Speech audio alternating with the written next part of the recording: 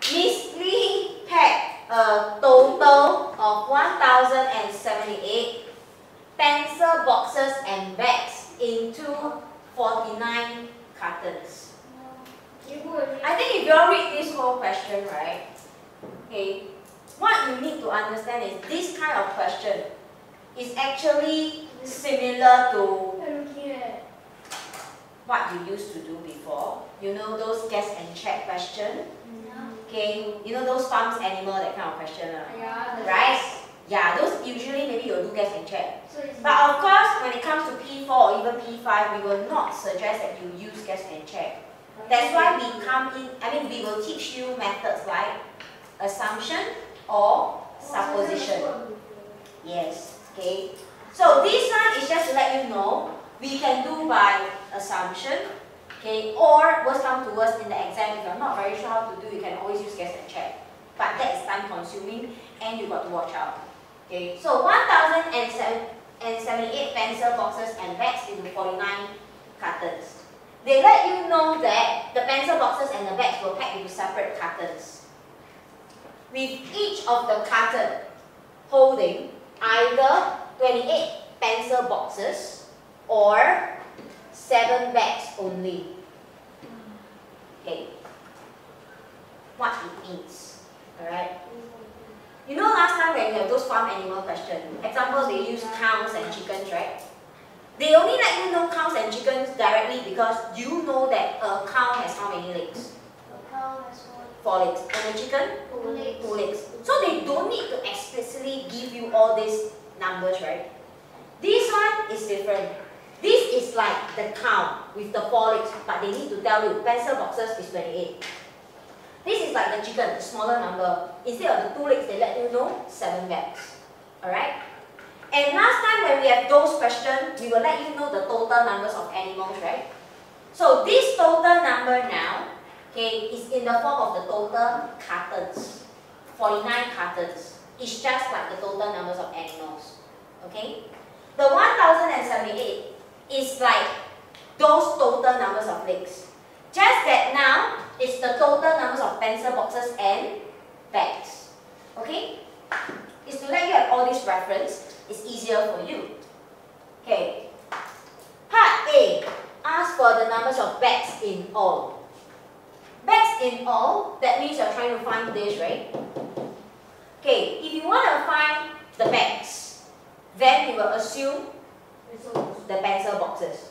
And we will assume that in all 49 cartons, they are only holding pencil boxes. So assume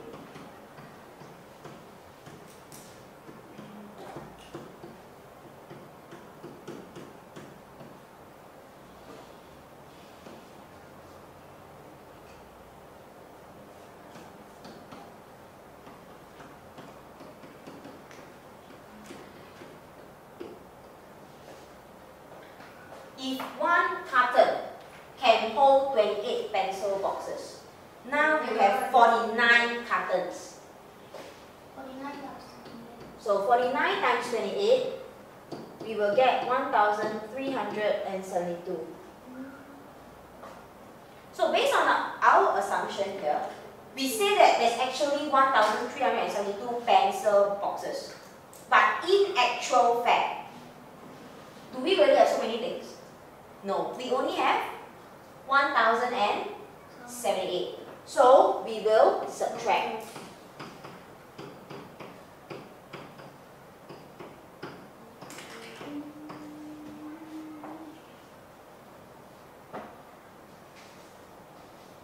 Okay, the next step, okay, is to find the difference. Okay, what this difference over here is like if I have this carton now, right, I put in um, 28 pencil boxes. I mean, if I have a total, and then I put a, put 28 into this box, my number here will decrease by 28, right? But if let's say I don't put the 28 into this box, into this carton, and I decided to put a 7 bags into another carton, my total number, how does it decrease? Okay, so I give you the number so that you can actually understand better. If I have 100 items now, 100 right? I put 28 into a carton. How many am I left with? 100 minus 28, you get 72, right?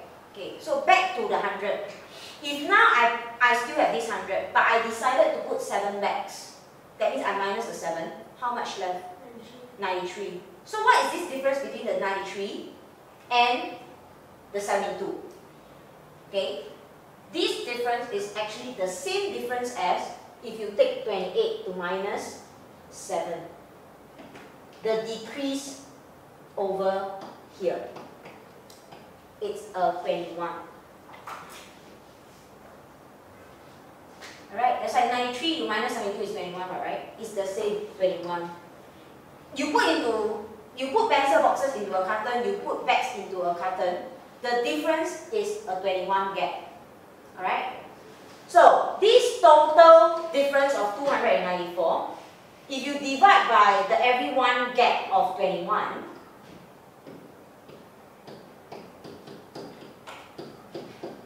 what you get now will be the cartons that holds the bags. These are cartons that hold right? Take note. A slight difference from those counts and chicken question is, usually when we get this answer here, it will be opposite of what we assume, right? It is still opposite of what we assume, except that our assumption is cartons. So at the end here, we will also get cartons. But it's cartons of the bags. So this one is cartons of bags. It doesn't answer part A because part A asks for the number of the bags. So remember, in one carton, you have seven bags. So if you have 14 cartons. 14 times 7. Alright, so for part A, 14 times 7, you get 98 as your part A answer. 98.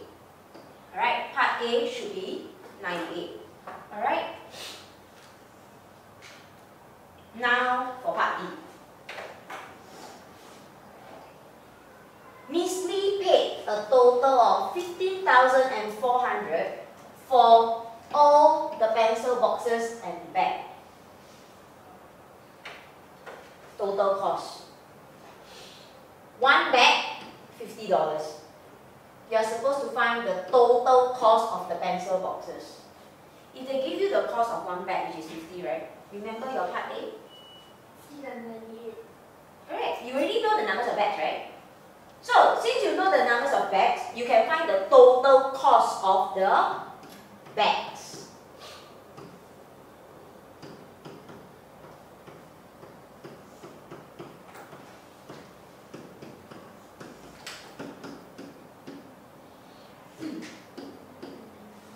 Total cost of the bag, $4,900. Total cost of everything is 15400 Yeah, and take note, right? Just need minus and don't do anything already because they ask for total. They did not ask for individual. Even if they ask for individual, you just have more steps to do. Alright, so here for part B, 10,500. But please take note when you write your answer for part B below, like that. Why cannot? Dollar sign. Yes, alright, the dollar sign. Okay, ten thousand and five hundred dollars. Okay, so please